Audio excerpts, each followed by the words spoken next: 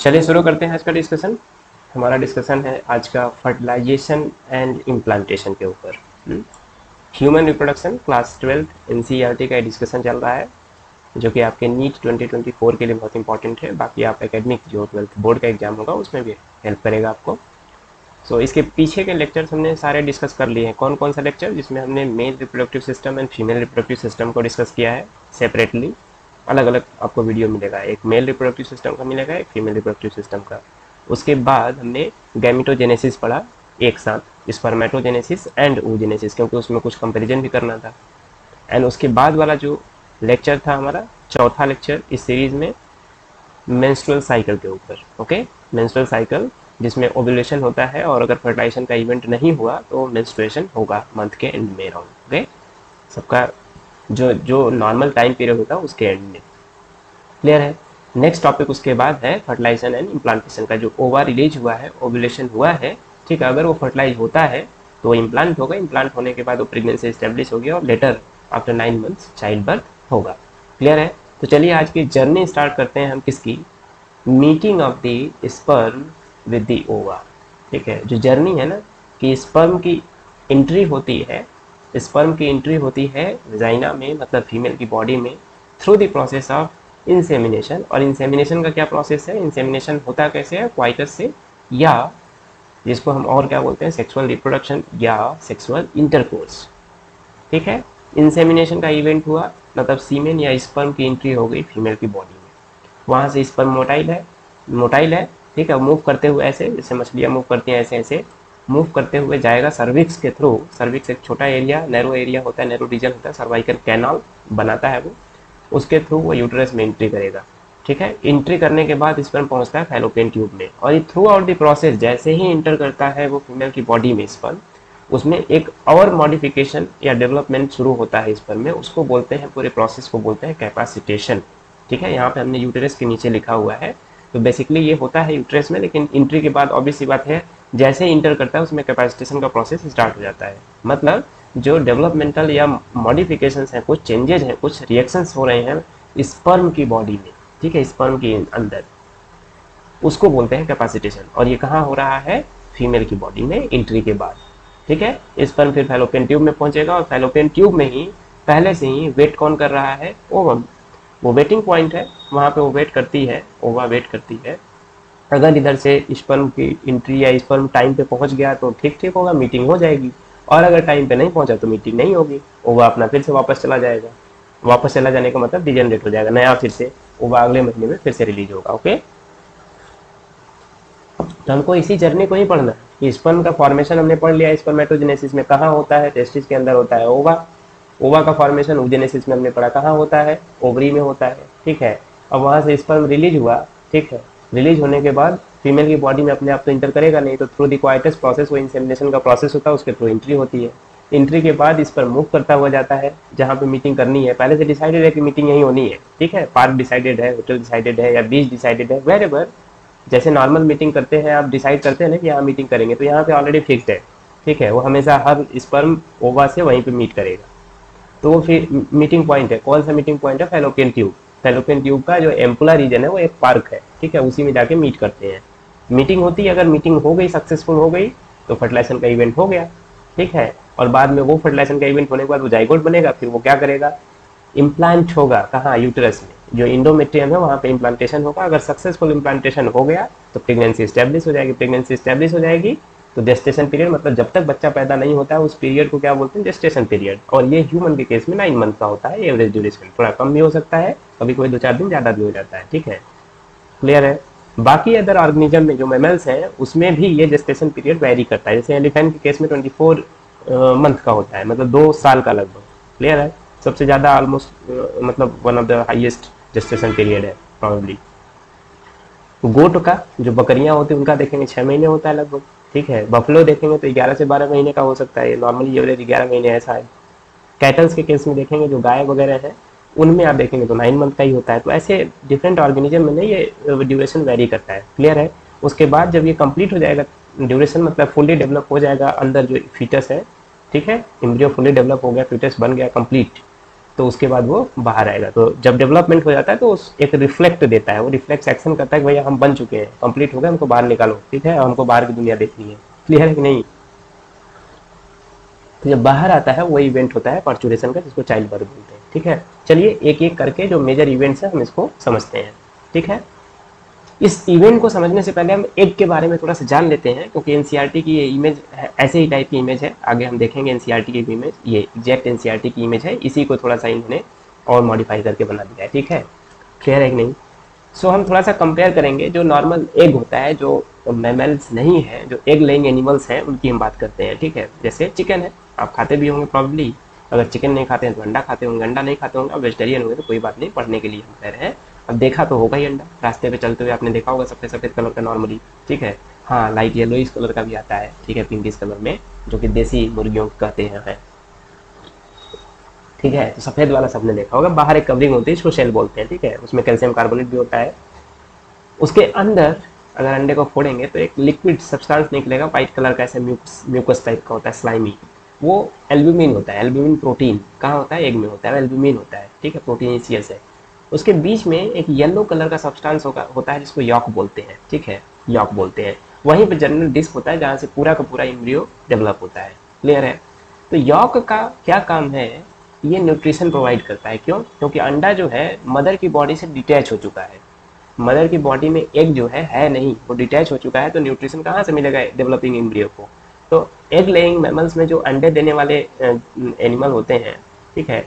उनमें नॉर्मली कुछ कुछ के कुछ कुछ अंडे में बहुत ज़्यादा यॉक होता है, उसको मैक्रो या मेगा लेसिथल बोलते हैं। कुछ कुछ में थोड़ा कम होता है, उसको माइक्रो लेसिथल बोलते हैं, ठीक है? और जिसमें नहीं के बराबर या अबसेंट होता है, उसको बोलते हैं alecithal egg alecithal यहाँ पे हमने मेंशन नहीं किया वर्ड अब ध्यान से सुनिए। नहीं तो मैं अपडेट करूँगा तो उसमें ए लेसिथल डाल दूँगा इस पोजीशन पे। ए लेसिथल बोलते हैं। तो हमारा एग जो है ए लेसिथल है। क्यों? क्योंकि हमारा जो एग है, वो फर्टिलाइज फीमेल की बॉडी में होगा और पूरा का पूरा इम्ब्रियो का डेवलपमेंट भी बॉडी के अंदर ही हो रहा है। Throughout the developmental stage embryo is connected to the mother body through the placenta placenta होता है अम्बलिकल कार्ड और प्लेसेंटा ऐसे ज्वाइन करते हैं। प्लेसेंटा होता है प्लेसेंटा से अम्बलिकल कार्ड अम्बलिकल कार्ड कहाँ होता है? बच्चे से जुड़ा होता है, जो उसका नेवल वाला एरिया होता है। उधर से न्यूट्रिशन आता है और बाकी जो एक्सक्रीटिव सिस्टम होता है उधर वापस जाता है मदर के थ्रू मदर की बॉडी में। और कुछ कुछ एक्सक्रीटिव प्रोडक्ट आपका जो एमनियोटिक फ्लूड होता है, उसमें भी रहता है। क्लियर है? तो हमारे एग में यॉक नहीं होता है। हम ये बता इसलिए रहे हैं क्योंकि यहाँ पे एक वर्ड लिखा हुआ है, जैसे आप राइट साइड की इमेज देखेंगे स्ट्रक्चर ऑफ़ ओवम दिया है ना, ये हमारा है। ह्यूमन एग है या ह्यूमन ओवम है। यहाँ पे पेरी वाइट लाइन स्पेस दिया हुआ है, ठीक है? पेरी वाइट लाइन स्पेस का मतलब जो पेरी वाइट लाइन मतलब वाइट लाइन जो मेम्ब्रेन होती है, उसके बाहर का जो स्पेस है, उसको पेरी वाइट लाइन स्पेस बोल रहे हैं। तो ये स्पेस है, इसका मतलब दो मेम्ब्रेन के बीच में होगा प्रॉब्ली तो एक तरफ़ व्हाइट लाइन मेम्ब्रेन होती है और दूसरी साइड में क्या होता है जोना पेलिसिडा की लेयर होती है। तो इसके बीच का स्पेस जो होता है, वो पेरी व्हाइट लाइन स्पेस बोलते हैं। अब ये व्हाइट लाइन मेम्ब्रेन क्या है? तो जो चिकन एग है या ऐसे टाइप के जो एग होते हैं, इनका जो यॉक है, ये सराउंडेड होता है एक मेम्ब्रेन से, जिसको व्हाइट लाइन मेम्ब्रेन बोलते हैं। वाइटलस लैटिन वर्ड है, इसका मतलब ही है। लैटिन वर्ड है, इसका मतलब ही होता है कि जो एग यॉक को कवर करता हो। सराउंड करता हो। ये सेपरेट करता है आपका एल्बुमिन से, ठीक है? एल्बुमिन से जो थिक वाला पोर्शन है आपका यॉक यॉक को सेपरेट करता है एल्बुमिन से। ठीक है? व्हाइट लाइन मेम्ब्रेन आप सर्च करेंगे तो कहीं कहीं आपको ये भी मिलेगा। रिसर्च एक्चुअल में आर्टिकल में अच्छे इंस्टीट्यूट के कि व्हाइट लाइन मेम्ब्रेन ही मैमल्स के केस में उसी को हम क्या बोलते हैं? जूना पेलुसिडा बोलते हैं। लेकिन आपको यहाँ पे मेंशन है एनसीईआरटी में। व्हाइट लाइन मेम्ब्रेन ऐसा नहीं मेंशन है। लेकिन व्हाइट लाइन स्पेस मेंशन है, ठीक है? यहाँ पे स्पेस ही दिया है ना? Perivitelline space so इसका मतलब है कि व्हाइट लाइन मेम्ब्रेन का भी यहाँ पे ज़िक्र होना चाहिए था, दिया नहीं है, लेकिन है कंसीडर किया है इन्होंने। पेरी व्हाइट लाइन स्पेस दिया है तो इसका मतलब कंसीडर किया है। ठीक है? एग्जैक्टली ये नहीं दिखाया गया है यहाँ पे कि एग्जैक्टली जो व्हाइट लाइन मेम्ब्रेन है, उसी को हमने जोना प्लोसिडा बोल दिया लेकिन आप रिसर्च पेपर में देखेंगे तो उसी का डिराइव फॉर्म है ठीक है? ग्लाइको प्रोटीन नेचर के होते हैं वो भी और ये भी। क्लियर है?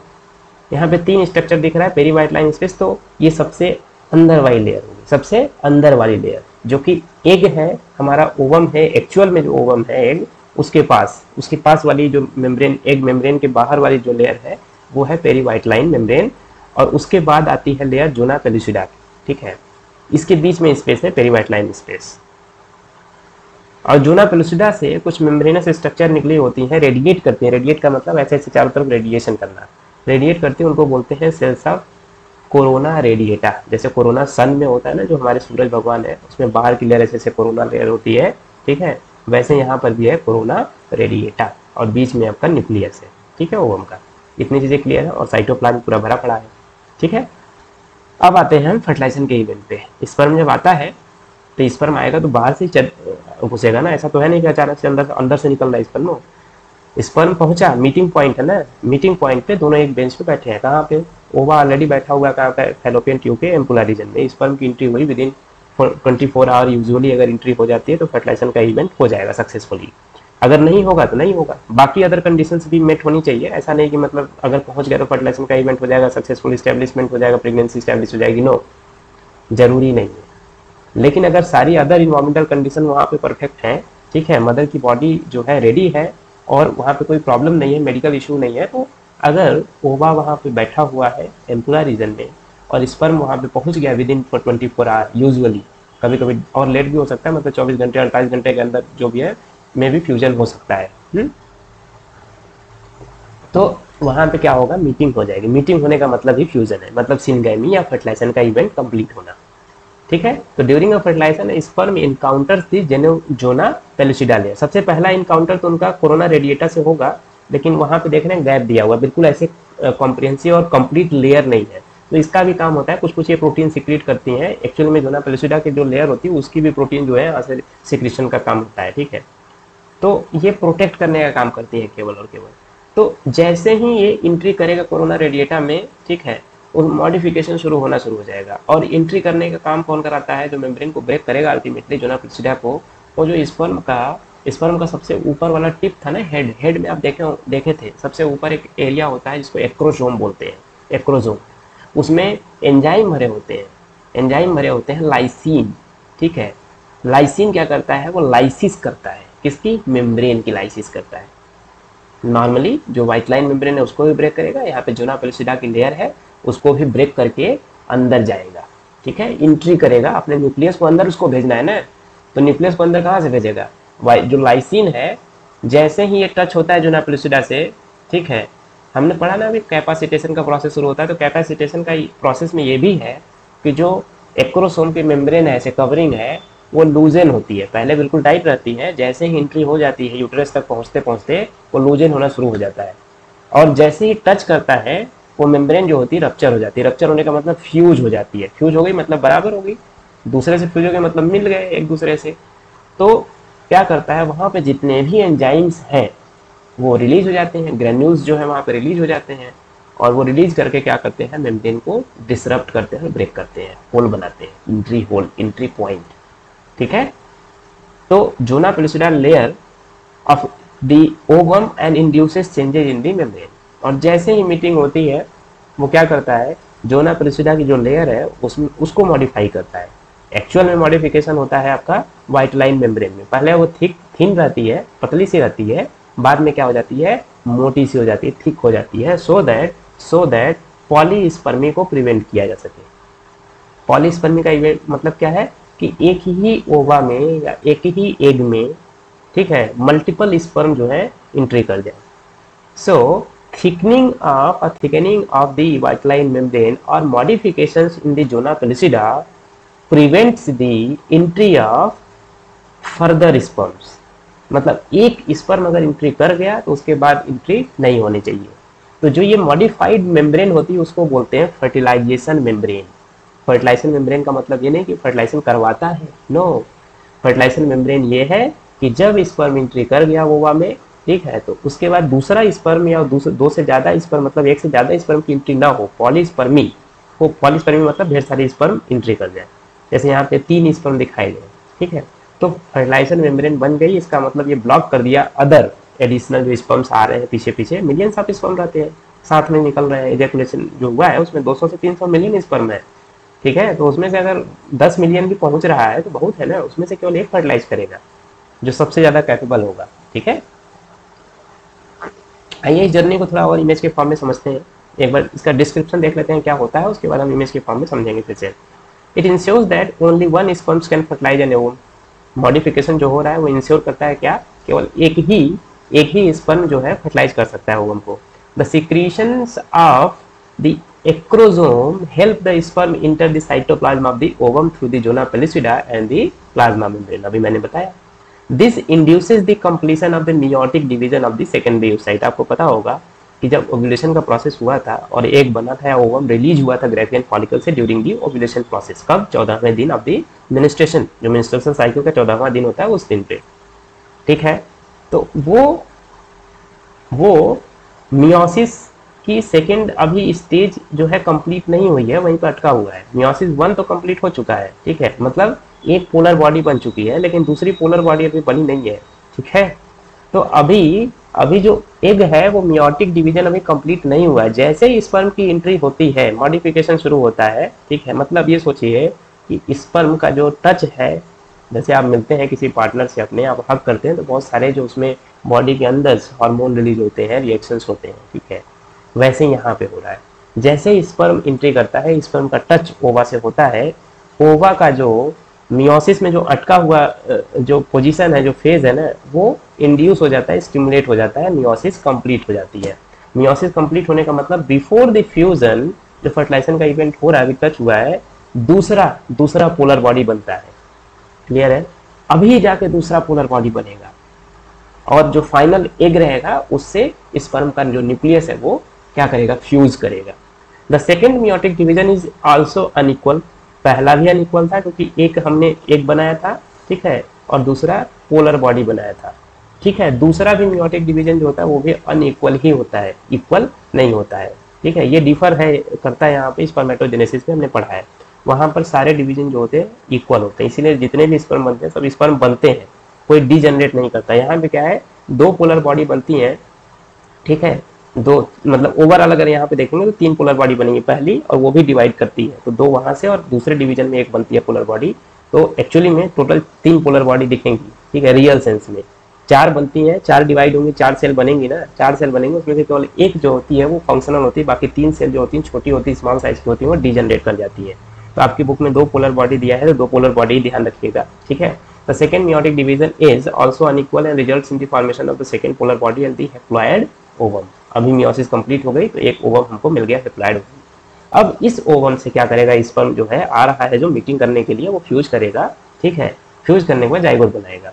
और ये फ्यूजन हो गया, यहीं पर ये बेबी का सेक्स डिटरमाइन हो जाएगा कि जो स्पर्म आया है, ठीक है, उसका वाई क्रोमोजोम फ्यूज किया है, ठीक है मतलब मीटिंग किया है कि एक्स क्रोमोजोम जो है फ्यूज किया है मीटिंग किया है। अगर ऐसा हुआ एक्स एक्स करेगा तो एक्स एक्स मिलके बेबी सेक्स कौन सा होगा गर्ल का होगा, और अगर वाई फ्यूज कर गया मेल का तो क्या हो जाएगा?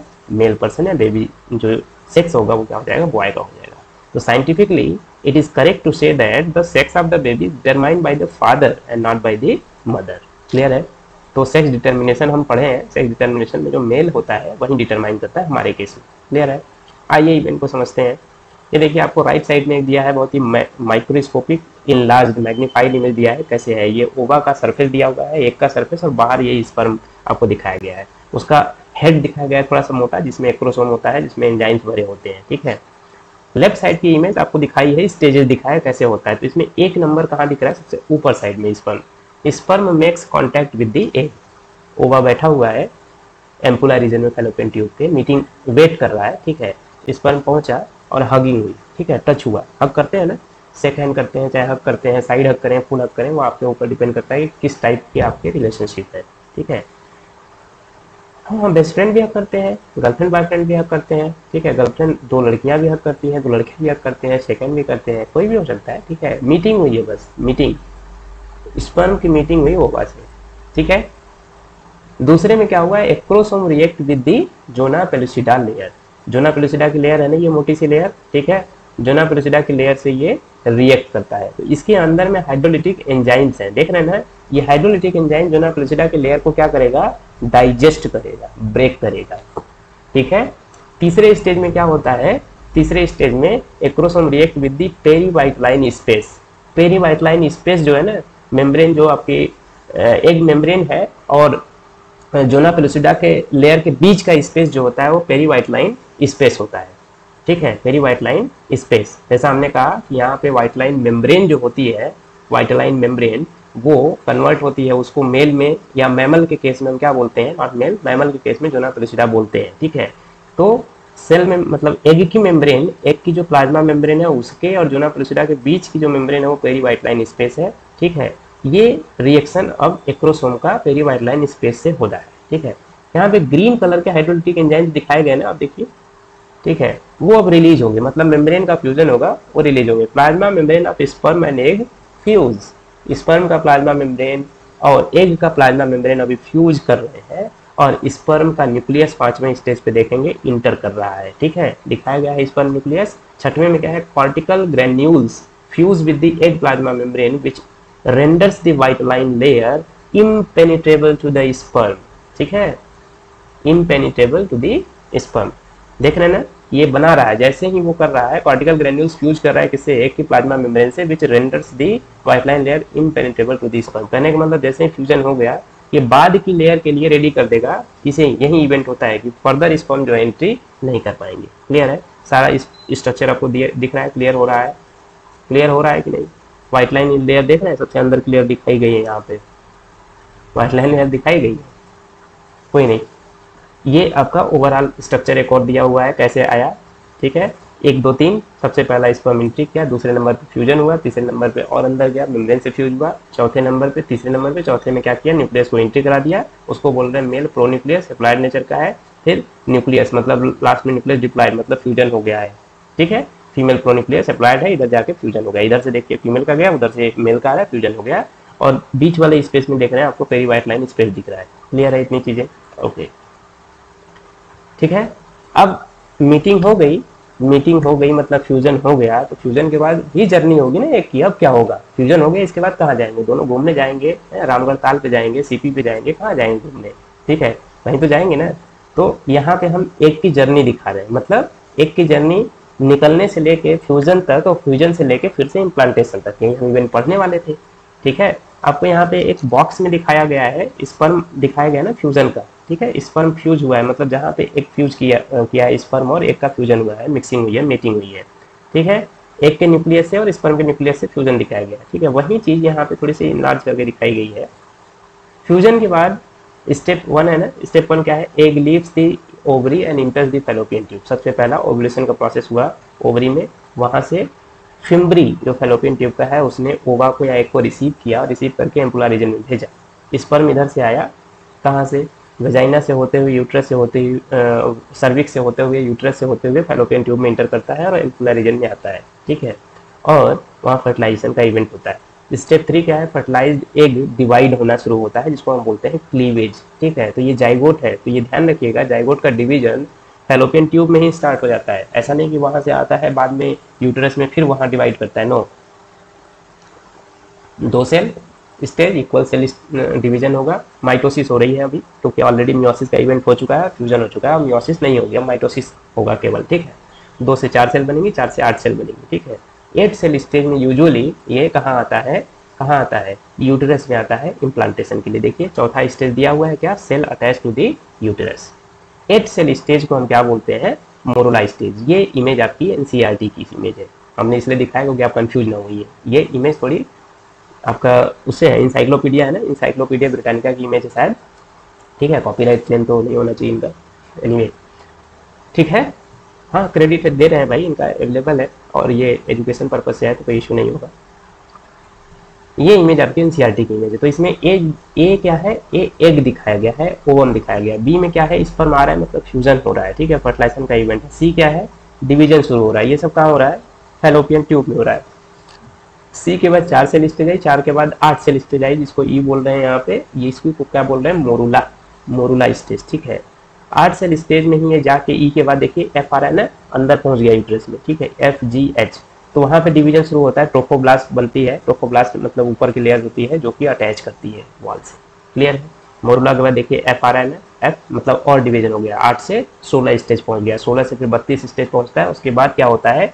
ऐसे कैविटी टाइप से स्ट्रक्चर बनता है मतलब कुछ ऊपर की सेल डिफ्रेंसिएशन अलग तरीके से होती है, उनको ट्रोफोब्लास्ट बोलते हैं नीचे का जो सेल मॉस होता है, वो इम्ब्रियो बनाता है। ठीक है? ये पूरा इवेंट है इम्प्लांटेशन का इवेंट तो इसी स्टेज को हमने अभी देखा है।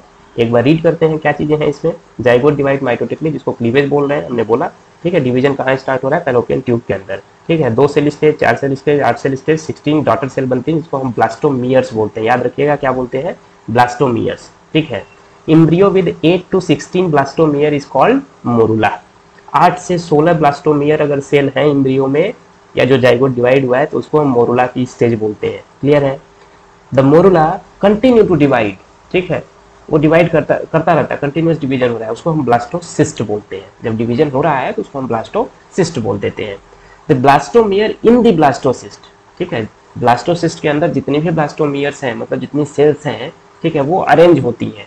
तो आउटर लेयर जो अरेंज होती है, उसको ट्रोफोब्लास्ट बोलते हैं, और जो इनर सेल मास होता है, क्या होता है वो? वही इम्ब्रियो बनाता है, बाद में embryo development inner cell mass से शुरू होता है, ठीक है? क्लियर है कि नहीं इतनी चीज़ें? देखिए and the blastomere in the blastocyst are arranged into the into an outer layer called trophoblast and an inner group of cells called inner cell mass attach to the trophoblast बाहर की cell है, ठीक है? अंदर की cell इससे attach ही होगी ना? यहाँ पे कोई गैप नहीं क्रिएट हो रहा है, ठीक है? गैप नहीं क्रिएट हो रहा है। क्लियर है? इनर सेल मास क्या करते हैं? डिफ्रेंसिएशन शुरू होता है। डिफ्रेंसिएशन शुरू होता है अंदर की सेल मास में और डिफ्रेंसिएट होकर ये इम्ब्रियो बनाती है। इम्ब्रियो का डेवलपमेंट होगा मतलब डिफरेंट जो बॉडी के पार्ट है वो बनना शुरू होगा डिफरेंट डिफरेंट टाइम पीरियड पे। After the attachment the uterine cell divides rapidly जैसे ही अटैचमेंट होता है, जो यूटरस यूटरस की वॉल है सेल है इंडोमेट्रियम जिसको बोल रहे हैं, उसका डिवीज़न बहुत फास्ट तरीके से होता है और ये ऐसे पूरा कवर कर लेगा। इम्ब्रियो को ऐसे पूरा कवर कर लेगा, ठीक है? जो ब्लास्टोसिस्ट है ना एक्चुअली उसको पूरा कवर कर लेता है तो इसका मतलब क्या है? पूरा का पूरा इम्ब्रियो एक ऐसी कवरिंग में डेवलप होगा। आप देखते होंगे अल्ट्रासाउंड की इमेज ऐसे सर्च करेंगे तो आपको दिखेगा, बच्चा जो डेवलप हो रहा है इम्ब्रियो ऐसे कवरिंग में रहता है, ठीक है? As a result the blastocyst becomes embedded in the endometrium of the uterus क्यों?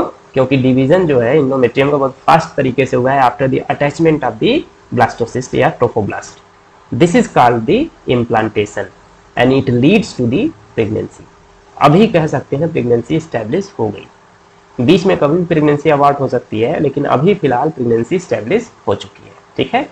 क्लियर है कि नहीं? प्रेगनेंसी एंड एम्ब्रियोनिक डेवलपमेंट तो after implantation chorionic villi finger like projection होते हैं। कोरियानिक लेयर सबसे बाहर की लेयर सपोज़ है तो कोरियान कोरियान सबसे बाहर की लेयर है एमनियन अंदर की लेयर है। ठीक है? So chorionic villi appears on the trophoblast जो ट्रोफोब्लास्ट था, जो अटैच हुआ है आपका इंडोमेट्रियम से, ठीक है? उसमें फिंगर लाइक प्रोजेक्शन आते हैं। कहीं पे भी आप ध्यान रखिएगा, जहाँ पे बिलाई टर्म आता है फिंगर लाइक प्रोजेक्शन है। जैसे इंटेस्टाइन में भी बिलाईज होते हैं। वो सरफेस एरिया को बढ़ाते हैं। तो यहाँ पर भी ट्रोफोब्लास्ट इंडोमेट्रियम से अटैच है, ठीक है अटैच है। तो इसका मतलब क्या है? यहाँ से ब्लड जो मदर की बॉडी से इसका कनेक्शन हो रहा है। तो सरफेस एरिया ज़्यादा रहेगा तो जो न्यूट्रिशन का एब्जॉर्प्शन होगा और ट्रांसफ्यूजन होगा, किसी भी चीज़ का वो ज़्यादा होगा, ठीक है? सो यही बोल रहा है। Chorionic villi appears on the trophoblast surrounded by the uterine tissue and the maternal blood chorionic villi plus uterine tissue ये दोनों मिलके क्या बनाते हैं? प्लेसेंटा बनाते हैं। आपने सुना होगा प्लेसेंटा नहीं? प्लेसेंटा सुना है ना? तो प्लेसेंटा क्या है? ये मदर की बॉडी का जो यूटेराइन टिश्यू है, ठीक है, और जो कोरियानिक लेयर है ट्रोफोब्लास्ट की प्रोजेक्शन उसमें आ रहे हैं। इन दोनों को मिला के मतलब ये दोनों जो मीटिंग पॉइंट है जहाँ पे अटैच हुआ है तो यूटेराइन की टिश्यू और इधर से आपका कोरियानिक विलाई। जो कि ट्रोफोब्लास्ट के आउटर सरफेस पे से अपियर हो रहे हैं फिंगर लाइक प्रोजेक्शंस उसको मिला के प्लेसेंटा बोलते हैं। और प्लेसेंटा क्या है? It is an structural it is a structural and functional unit between the developing embryo and the maternal body structural का मतलब है कि स्ट्रक्चर भी है अटैच करके रखता है किसको? जो डेवलपिंग इम्ब्रियो है। और फंक्शनल यूनिट क्यों है? क्योंकि यही जो है ना, पूरा का पूरा नरिशमेंट जो पहुंचेगा मदर की बॉडी से यूट्रस मतलब इम्ब्रियो को प्लेसेंटा से होते हुए ही जाएगा। प्लेसेंटा से एक स्ट्रक्चर अटैच होता है जिसको अम्बिलिकल कॉर्ड बोलते हैं अम्बिलिकल कॉर्ड यही अम्बिलिकल कॉर्ड होता है ड्यूरिंग द चाइल्ड बर्थ उसको काटते हैं, जिसको कहते हैं नाल नाल काटना। ठीक है? नाल काटना, आप देखेंगे बच्चा पैदा हुआ रहता है, जो भी रहे, चाहे लड़की रहे, चाहे लड़का रहे, उसके नाभि से एक ऐसे पतला सा काला सा ना स्ट्रक्चर निकला होता है, वो फ्लेश रहता है। ठीक है? कुछ दिनों के बाद धीरे धीरे वो ड्राई हो जाता है, उसके बाद खत्म हो जाता है। वहीं पे नाभि होती है तो नाभि से ही ऐसे अटैच होता है। पूरी की पूरी चीज़ जो नरिशमेंट आ रहा है न्यूट्रिशन आ रहा है, जो भी मदर खाएगी, जैसा भी चीज़ होगा, वो पूरे बच्चे को मिलेगा। इसीलिए जब बेबी मतलब अंदर होता है तो कहते हैं कुछ फालतू की चीज़ें या एल्कोहल नहीं लेने के लिए बोलते हैं या कुछ और भी स्मोकिंग नहीं करने के लिए बोलते हैं क्योंकि वो डायरेक्टली बच्चे को इम्पैक्ट करेगा। क्योंकि जितना भी चीज़ मदर की बॉडी में हो रहा है, वो सारा बच्चे को डायरेक्टली डायरेक्टली कनेक्टेड है सिस्टम से। क्लियर है? ये देखिए आपका, ये प्लेसेंटल बिलाई है, जो अभी हमने बताया। ठीक है? ये अम्बिलिकल कॉर्ड देखिए इम्ब्रियो है। इम्ब्रियो से प्लेसेंटा से जुड़ा हुआ जोड़ कौन रहा है? अम्बिलिकल कॉर्ड ठीक है? इसमें आपकी ब्लड वेसल्स होंगी, जहाँ से आपको ब्लड वेस्कुलर सिस्टम जो मदर से आ रहा है, पूरी सप्लाई न्यूट्रिशन लेके आने के लिए, आने का काम करेगा। ठीक है? यॉक सैक यहाँ दिखाया जाए बाहर साइड में आप देखिए यॉक सैक लिखा हुआ है। यॉक नहीं होता है, लेकिन ये यॉक सैक होता है और ये जो जुड़ा हुआ है इम्ब्रियो से है, ये यॉक स्टेम से जुड़ा होता है। ठीक है? York stem. इसका मेन काम होता है कुछ कुछ काम होता है। मेन काम इसका होता है जैसे कोई भी चीज़ होती है ना मतलब कोई ऐसा पॉइजनस सब्सटेंस है टॉक्सिक सब्सटेंस है, जो कि मदर की बॉडी से जा रहा है बेबी में। कुछ कुछ तो सब्सटेंस हो सकता है। मान लीजिए कभी ले ही लिया स्मोकिंग कर ही ली एल्कोहल ले लिया इम्पैक्ट तो करेगा। लेकिन यॉक सैक का यही काम होता है, ये इसको ना ब्रेक डाउन करने का काम करता है, हेल्प करता है बहुत सारी चीज़ों में। ठीक है? बाद में क्या होता है, ये इसकी गट में ना जो डेवलपिंग एम्ब्रियो से गट से क्या होता है, फ्यूज हो जाता है यॉक से तो लेटर स्टेज में यॉक नहीं प्रेजेंट होता है तो यहाँ पे यॉक सैक होता है, लेकिन यॉक नहीं होता है इस बात को ध्यान रखिएगा। ठीक है? और नीचे साइड में आपको दिया हुआ है, plug of the mucus in cervix region. तो सर्विक्स रीजन एक नैरो एरिया होता है, जो कि कनेक्ट करता है यूटेरस को वेजाइना से, और बर्थ कैनाल बनाता है। सर्वाइकल कैनाल एंड वेजाइना मिलकर बर्थ कैनाल बनाते हैं। तो यहाँ पे म्यूकस सिक्रिट होके ये जो पतला एरिया है, नैरो एरिया है, नैरो रीजन, इसको ब्लॉक कर देता है ताकि अंदर और बाहर जो वेजाइनल ओपनिंग से इन्फेक्शन कोई ना आ सके, कुछ भी इंट्री ना कर सके जो कि डेवलपिंग इम्ब्रियो को इफ़ेक्ट करे, ठीक है? और यही होता है बर्थ के टाइम पे, यही होता है जिसको कहते हैं वाटर लीक हो रहा है। तो यही होता है जो ब्रेक होता है और यहाँ से वाटर रिलीज़ होता है, इसका मतलब अभी बेबी जो है डेवलप हो चुका है ये डिलीवरी होनी है इसकी, ठीक है? Placenta to umbilical cord to embryo ये सप्लाई होती है किस चीज़ की? न्यूट्रिएंट एंड ऑक्सीजन की सप्लाई कहाँ से? प्लेसेंटा से होते हुए अम्बलाइकल कॉर्ड से इम्ब्रियो को। और उल्टा डायरेक्शन में आप देखेंगे मतलब embryo to umbilical cord to placenta क्या होगा? CO2 और वेस्ट मटेरियल सब बाहर आएगा। अर्ली स्टेज में। लेटर स्टेज में जो एमनियोटिक फ्लूड होता है, उसमें बेबी का भी एक्सक्रिटरी प्रोडक्ट रहता है। बेबी का जो एक्सक्रीशन हो रहा है ना, अगर मान लीजिए ऑर्गन डेवलप हो गया जब लेटर स्टेज में सेक्सुअल ऑर्गन भी डेवलप हो गया तो एक्सक्रिटरी सिस्टम उसका फ़ंक्शन करने लगेगा। अरे किडनी बन गया तो जो बॉडी में उसकी किडनी काम करना शुरू करेगी ना तो जो थोड़ा बहुत एक्सक्रीशन हो रहा है उसका ना लेटर स्टेज में, वो एमनियोटिक फ्लूड का ही पार्ट बन जाता है। एमनियोटिक फ्लूड का ही पार्ट बन जाता है, ठीक है? और प्लेसेंटा जो हमने देखा placenta as an endocrine system भी काम करता है। क्यों? केवल और केवल प्रेगनेंसी के टाइम पे कुछ हार्मोन फीमेल की बॉडी में रिलीज़ होते हैं, वो प्लेसेंटा से रिलीज़ होते हैं। कौन से? जैसे human chorionic gonadotropin H C G human placental lactogen ये हेल्प करते हैं। ये हेल्प करते हैं बच्चे के डेवलपमेंट में और उसके बाद के स्टेजेस के लिए। लैक्टोजन है ना? प्लेसेंटल लैक्टोजन जो कि बाद में मदर की बॉडी के लिए मेमोरी ग्लैंड में भी इनका रोल रहेगा इस्ट्रोजन भी रिलीज़ होता है और प्रोजेस्ट्रॉन भी रिलीज़ होता है। प्लेसेंटा से, याद रखिएगा। और दो एक्सक्लूसिव हैं, ठीक है? जैसे H C G H P L and relaxin केवल और केवल प्रेगनेंसी के टाइम पे ये आपको मिलेगा। केवल और केवल प्रेगनेंसी के टाइम पे ही एक्सक्रीट होगा सिक्रीट होगा, उसके अलावा नहीं होगा। क्लियर है? Relaxin hormone from ovary in the later phase of the pregnancy ये केवल देख, ध्यान रखिए रिलैक्सिन हार्मोन कहाँ से रिलीज़ हो रहा है? ओवरी से रिलीज़ हो रहा है, लेकिन लेटर फ़ेज़ कब प्रेगनेंसी की लेटर फ़ेज़ में रिलीज़ हो रहा है, ये बॉडी को रिलैक्स कराने काम करेगा और डिलीवरी कराने में हेल्प करेगा। रिलैक्सिन है रिलैक्स कराने काम करेगा। ठीक है? क्लियर है कि नहीं? During the pregnancy, the level of other hormone like estrogen, progesterone, cortisol, prolactin, thyroxine, etc. are increased several fold in the maternal blood. इसीलिए डिलीवरी के बाद भी कहते हैं ना कि थायराइड का इशू होता है मदर को भी। क्यों? क्योंकि थायरॉक्सिन का लेवल बहुत ज़्यादा होता है लेकिन नॉर्मली ये पाँच छः महीने के बाद ऑटोमेटिकली डाउन हो जाता है क्योंकि ये प्रेगनेंसी की वजह से हुआ था। ठीक है? तो बहुत सारे हार्मोन का लेवल उस टाइम पे ज़्यादा रहता है क्योंकि सबका रोल है। सबका रोल है इम्ब्रियो डेवलपमेंट से लेके चाइल्ड डिलीवरी तक। ठीक है? It is essential for supporting the fetal growth and metabolic changes in the mother and maintenance of the pregnancy इसके लिए इसेंशियल है। इसलिए इन सबका जो लेवल है, बढ़ा हुआ रहता है। Embryo differentiate into the ectoderm and endoderm और बाद में क्या होता है? मीजोडर्म भी बनता है। तो इम्प्लांटेशन के जस्ट बाद इम्ब्रियो का डिफरेंशिएशन होता है किसमें? एक्टोडर्म और इंडोडर्म में। तो ऐसे ही जो एक्टोडर्म होते हैं, अब जैसे ब्रेन का फॉर्मेशन होता है ना तो ब्रेन का फॉर्मेशन शुरू हो जाएगा। उसके बाद इंडोडर्मल जो, इंडोडर्म से जो डिराइव्ड लेयर होती है, वो इंडोडर्म से बनेगी। मीजोडर्मल ओरिजिन के जो ऑर्गन्स होते हैं, वो मीजोडर्म जब बनेगा बीच में तो बनना शुरू होगा। ठीक है? Later mesoderm appears in between the ecto and endo clear है? ये थ्री लेयर को हम क्या बोलते हैं? जर्म लेयर बोलते हैं। और यही तीन जर्म लेयर पूरे के पूरे जो स्ट्रक्चर है, पूरे के पूरी जो बॉडी है एडल्ट की ऑर्गन है जो, वो डेवलप करते हैं। ठीक है? The inner cell mass content the certain cells called stem cell trophoblast attach हो गया, उसके बाद जो अंदर वाली सेल है, जो डेवलप जहाँ से इंद्रियो पूरा डेवलप होगा, उन्हीं की सेल्स कुछ सेल्स होते हैं जिनको स्टेम सेल बोलते हैं, ठीक है? और स्टेम सेल जो होती हैं प्लूरीपोटेंट होती हैं या मल्टीपोटेंट बोलते हैं। कहने का मतलब ये पूरा का पूरा ऑर्गन डेवलप करने की इनकी कैपेसिटी होती है और इसी स्टेम सेल को हम हार्वेस्ट करते हैं आज के समय में। कुछ कुछ हॉस्पिटल्स हैं, जैसे रिलायंस है या बाकी अदर जो बड़े हॉस्पिटल्स हैं, उनके पास फैसिलिटी है स्टेम सेल को प्रिजर्व करने की। तो ये क्या करते हैं स्टेम सेल हार्वेस्ट करते हैं ड्यूरिंग दी प्रेगनेंसी ठीक है? जो डेवलपमेंट जब हो रहा हो, उसी समय क्या करते हैं हार्वेस्ट करके रख लेते हैं। उसका पैसा लेते हैं फ्री का नहीं होता है, ठीक है? पैसा लेते हैं अच्छा खासा। हार्वेस्ट करके रखते हैं तो उससे क्या होता है बेबी का मतलब लगभग दस बारह साल, पंद्रह साल एडल्ट स्टेज आने तक, ठीक है? एडलोसेंस या प्यूबर्टी आने तक अगर कुछ भी डैमेज होता है या बाद में भी, उसका टाइम पीरियड रहता है कि कब तक रख सकते हैं। उतने टाइम पीरियड में अगर कुछ भी डैमेज होता है, कुछ भी दिक्कत होती है तो they they regenerate through that that particular organ through the stem cell regeneration का प्रोसेस बॉडी के अंदर नहीं होता है, वहीं पे स्टेम सेल का वो प्रोसेस बड़ा जैसा भी है डिफ़िकल्ट है। हम ऐसे आसानी से दस मिनट में ऐसे नहीं समझा सकते हैं आपको, ठीक है? फिर बाद में समझाए कभी स्टेम सेल का कैसे रोल होता है, कैसे ये नए ऑर्गन को कैसे डेवलप किया जाता है इसके थ्रू क्लियर है? क्लियर है कि नहीं? Organ formation during the pregnancy pregnancy establish हो गई तो ऑर्गन कब बनेगा? नौ महीने का टाइम है ना टोटल तो ऑर्गन तो बनना पड़ेगा उसी में। तो पहला महीना जो होता है, पहला महीना खत्म होगा प्रेगनेंसी का तो उसमें हार्ट बनेगा, ठीक है? The first sign of growing fetus heart बन गया, इसका मतलब पहला जो साइन है ना, कि फीटस जो है प्रॉपर डेवलपमेंट शुरू हो गया, जो इम्ब्रियो है, वो डेवलप हो रहा है।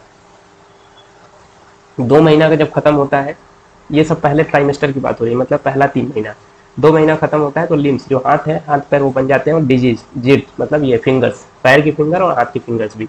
तीसरा महीना खत्म होता है मतलब पहला ट्राइमेस्टर जब एंड होता है तो मैक्सिमम मोस्ट ऑर्गन बन चुके होते हैं और एक्सटर्नल जेनेटेरिया मतलब जो आप अल्ट्रासाउंड के थ्रू जो जेनेटिक टेस्टिंग करते हैं जेनेटिक में सेक्स की टेस्टिंग करते हैं सेक्स डिटर्मिनेशन करते हैं, ठीक है, वो तीन महीने के बाद ही कर पाएँगे, उसके पहले नहीं कर पाएँगे, ठीक है, क्योंकि तीन महीने के बाद ये पूरे चीज़ डेवलप हो चुके रहते हैं। पाँच महीना जब खत्म होता है तो फीटस का जो ना first movement of the fetus पहला मूवमेंट शुरू होता है, और उसके हेयर जो हेयर पे हेड आना शुरू होता है, दिखता है, ठीक है? End of the six month second trimester जब खत्म होगा, ठीक है? मतलब ट्वेंटी फोर वीक्स हो गया। आई सेपरेट होती है मतलब पहले ऐसे बंद रहती है, उसके बाद ये सेपरेट हो जाती है, ठीक है? आई लेसेस बन जाता है, ये आई लेसेस बनेगा, और बॉडी पे जो फाइन हेयर्स होते हैं थीन हेयर्स होते हैं, वो भी आते हैं। End of the nine month मतलब फुल्ली डेवलप फीटस है, और ready for the delivery clear है? क्लियर है कि नहीं? अब नेक्स्ट टॉपिक हमारा होगा parturition and lactation okay last lecture अभी हमने खत्म किया है फर्टिलाइजेशन एंड इम्प्लांटेशन का इवेंट ये बहुत दो ही स्लाइड थे, हमने छोड़ दिया था, फिर भी पढ़ लेते हैं इसको. सेम में ही मैं इंक्लूड कर देता हूँ. सो पार्चुरेशन एंड लैक्टेशन मतलब पार्चुरेशन का मतलब होता है चाइल्ड बर्थ और लैक्टेशन मतलब आफ्टर चाइल्ड बर्थ जो मदर होती है, वो बच्चे को दूध पिलाती है, वो लैक्टेशन का प्रोसेस है, ठीक है? तो delivery of the foetus is called parturition जिसको चाइल्ड बर्थ बोलते हैं, ठीक है? याद रखिएगा वर्ड ध्यान रखिएगा, क्योंकि सीधा सीधा क्वेश्चन पूछ सकता है। और ये इंड्यूस होता है, जो पार्चुरेशन होता है, उसमें दोनों मतलब न्यूरॉन नर्वस सिस्टम और इंडोक्राइन सिस्टम दोनों इंक्लूड होते हैं, दोनों इन्वॉल्व होते हैं, इसलिए इसको हम बोलते हैं न्यूरो इंडोक्राइन मैकेनिज्म तो पार्चुरेशन का प्रोसेस जो होता है न्यूरो इंडोक्राइन मैकेनिज्म है ये, ठीक है? The signal comes from the fully developed fetus and the placenta जब डेवलप मतलब फीटस पूरे के, पूरे की तरीके से डेवलप हो जाता है तो एक सिग्नल देता है कि हम डेवलप हो चुके हैं भाई, हमको बाहर निकलना है, ठीक है? वो सिग्नल देता है। अदरवाइज़ ऐसा नहीं है, भाई डेवलप होकर सिग्नल नहीं मिलेगा तो कैसे डिलीवरी होगी? ठीक है तो जैसे ही सिग्नल मिलता है, उसके अकॉर्डिंग यूटरस की वॉल जो है, क्या होती है? कॉन्ट्रैक्ट होना शुरू करती है। ठीक है, हमने पढ़ा है ना इंडोमेट्रियम मायोमेट्रियम और पेरीमेट्रियम तो जो मायोमेट्रियम की वॉल है मोटी सी, वो क्या है? कॉन्ट्रैक्ट होना शुरू करती है। ठीक है तो सिग्नल कहाँ से आता है? फुल्ली डेवलप्ड फीटस और प्लेसेंटा दोनों मिल के सिग्नल देते हैं। और ये सिग्नल है क्या? इसी सिग्नल को बोलते हैं फीटल इजेक्शन रिफ्लेक्स रिफ्लेक्स है फीटस से निकला हुआ है और फीटस को बाहर निकालने के लिए ये रिफ्लेक्स दिया जा रहा है। ठीक है तो फीटल इजेक्शन इजेक्शन कहते हैं बाहर निकालने को बोलते हैं। तो फीटल्स बोल रहा है कि हमको बाहर निकलना है हम रेडी हैं, हमको बाहर निकलना है। ठीक है?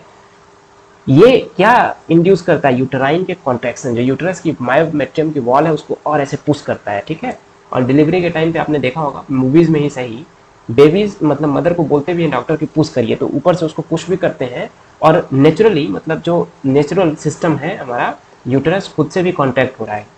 ठीक है? और इसको कॉन्टैक्ट कराने में और एक हार्मोन हेल्प कर रहा है कौन? ऑक्सीटोसिन जो कि रिलीज़ कहाँ से हो रहा है आपका? Anterior anterior no posterior pituitary से।